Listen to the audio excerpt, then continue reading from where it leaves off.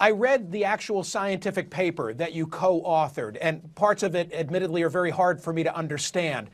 You are not saying that there's definitely alien life among us. What are you saying? We are saying that uh, this is the very first uh, interstellar object, an object that came from outside the solar system that we have seen near the Earth. And it looks nothing like the asteroids or comets that we have seen before in the solar system. It has an extreme shape. It deviated from an orbit that is shaped just by the sun's gravity. And it looks shiny and uh, quite unusual. Uh, and uh, so we say perhaps it was manufactured by some alien civilization. Perhaps uh, it is uh, a spaceship or a probe. We have to put that possibility on the table. Uh, unfortunately, this uh, special guest that we had uh, for dinner already left our house and it's out there in the dark street, so we can't really see it anymore. But we can look for other guests that came from that uh, foreign country and perhaps uh, study them much better in the future. From your scientific paper, considering an artificial origin, one possibility is that Oumuamua is a light sail floating in interstellar space as debris from an advanced technological equipment. What's a light sail? A light sail is simply a, a sail, just like the sail we find uh, on a sailboat, but it's being pushed by light rather than by uh, the wind.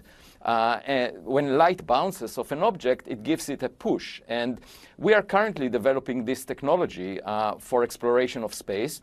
In principle, you don't carry the fuel with you, and so you can reach very high speeds with that kind of a technology. Uh, and it's quite possible that a mature civilization that had many more years to develop technology um, uses that uh, technology.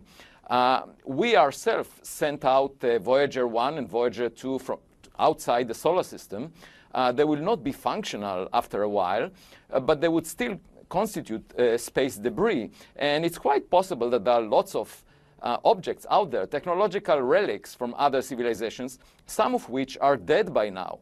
And by the way, finding evidence uh, for dead civilizations is as interesting. I call it space archaeology. Uh, because it can teach us a lesson to take our, get our act together and behave better so that we don't have the same fate. You also said this. We'll put this on the screen. Alternatively, a more exotic scenario is that Oumuamua may be a fully operational probe sent intentionally to Earth vicinity by an alien civilization. Speak to that.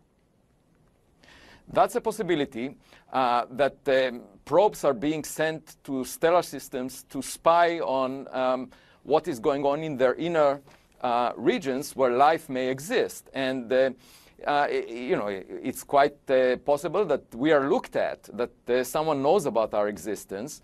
Um, this is a possibility. We need to explore that possibility, to have it on the table. And all I'm saying is that we have now the technology to figure out whether we are the smartest kid on the block. Uh, that will be the most interesting question. Maybe we can learn from them if we are not. Uh, but so far, we have been uh, just focusing down here on Earth on disputes among nations. Uh, uh, we should consider the possibility that we are not alone and learn from other civilizations if they are out there.